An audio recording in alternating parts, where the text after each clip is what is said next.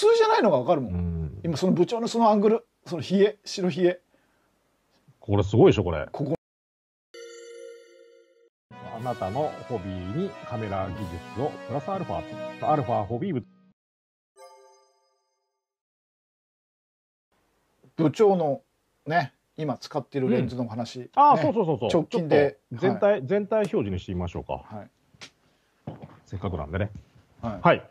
今こんな感じなんですけども、あのーいつもは、あの、最近の放送だと、えーボディが α7R2 で、えーレンズが、えーディスタゴン、うん。35mm の F1.4 っていう単焦点レンズを使って放送していたんですけども、まあ、あのー前回か前々回の放送でね、あのー今部長が撮影しているこちらのカメラのレンズを、まあ、今回新しく出た、えーシグマさんの2845の F1.8 に変えてくれないかっていうリクエストが実はあったんですけども、ちょっといろんな事情ですぐにはできなかったんですよ。う。ん。ですけど、まあ、一応それを覚えていて、せっかくだったら、まあ、このレンズ、今、話題のうちに、ちょっとそれはやって差し上げようと思って、うん。ちょっと今、あのいろ、いろんなものを変えて今、うん。あの一応やれるようになったんで、えーこれはちょっと限定的に、えー一応配信はしておるんですが、えー皆さんどうでしょうかね、このレンズのこの動画性能というか、映り？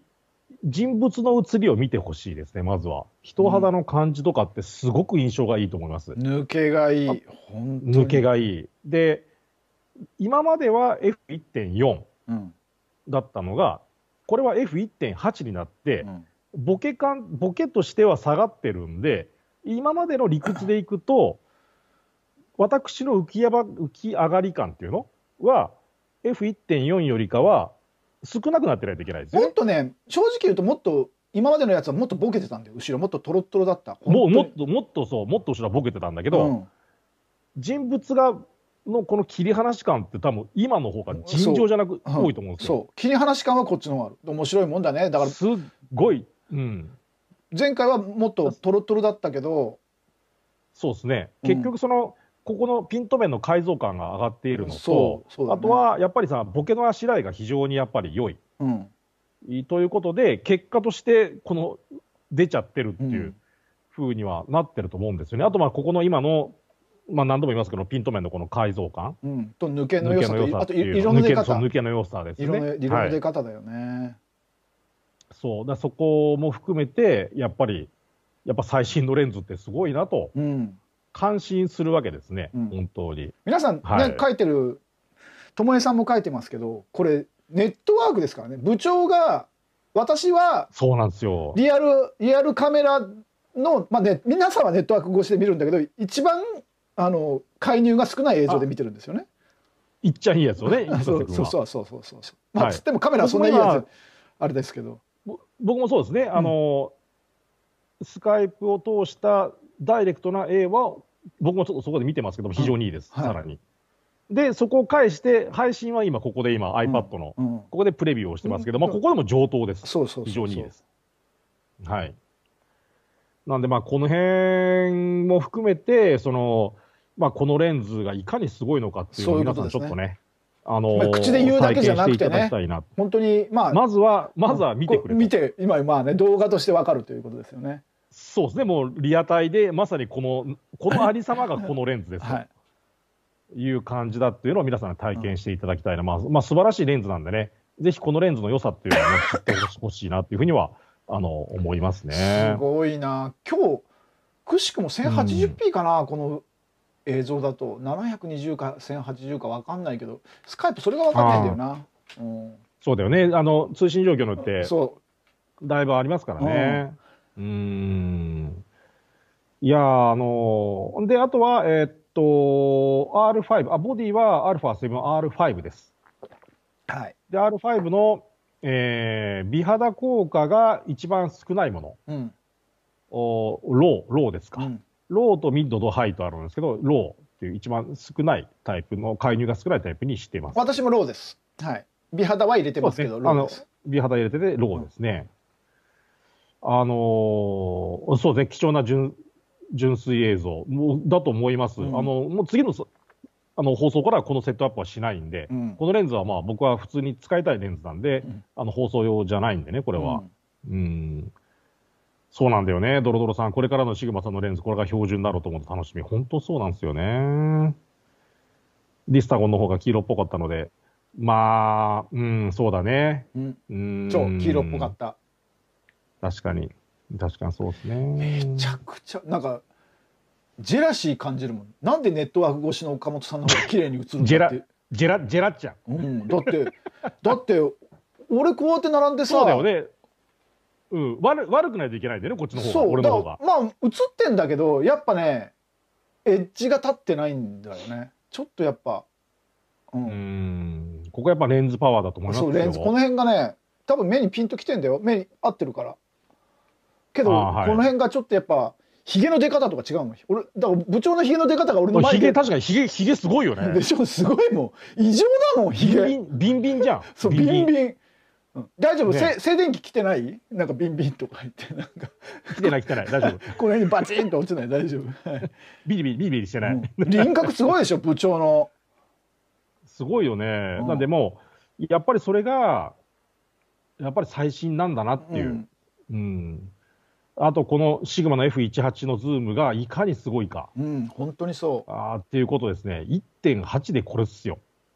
だから F1.4 の時時の切り離し感と遜色ないですからね、うん下手したらこっちの方がちょっと切り離してる感じがするぐらいうんすごいと思います。ううんん。だからもう切り離してボケのボケの質じゃないんだよねもうねトータルでだよねそう、もう結局トータルなんですよね。抜ちょっけとそういう時代に突入してきたっぽいですシャーね。プシャープボケあと色味だよね色味。うんうーんですね。ともえさん、2845と3550を持ってモデル撮影行きましょう。最強コンビじゃないですか、今。うんもう、筋肉マンとテリーマンですね、これ完全に。が、一緒にいたカメラマンに2845を貸したら、写りの良さから予約するって、おすごいこれから、あこれ噂から購入しよう。俺もね、そう思ってんだよ。あの、結局ね、あのーうちの番組はさ、皆さんがこういうふうに、今今まさにこの映像がそうだし、うん。で、あとは、えー作例を僕は何枚か、まだ全然出せてないですけども、何枚か見せたりして、お見せしたりして、その、割と近しいところにいるから、この購入するかしないかの判断っていうのを、おの、その、まな板の上に上がるわけなんですけども、そうじゃない人っていうのは、単純にスペックだけ見ると思うんですよ。う。ん。そうそうするとね、焦点距離短とかね。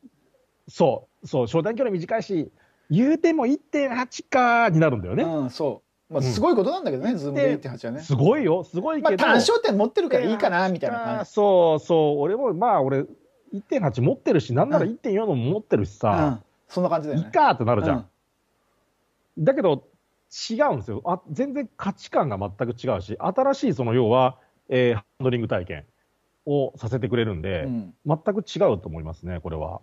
うん。